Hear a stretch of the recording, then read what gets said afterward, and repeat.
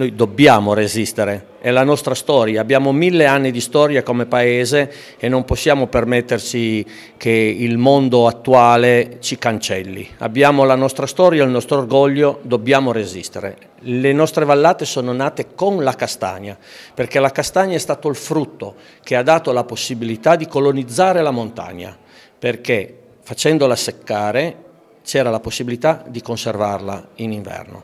Perciò con l'avvento della castagna abbiamo iniziato a togliere i boschi selvatici e a trasformare una vallata intera in un intero frutteto.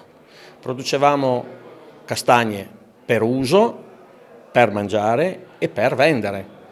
Adesso purtroppo l'abbandono della, della campagna, il fatto che la castagna ha un valore basso sul mercato, per cui non dà più il reddito. Una volta si raccoglievano le castagne per mangiare, oggi la castagna deve dare reddito, in questo momento la castagna non dà più reddito.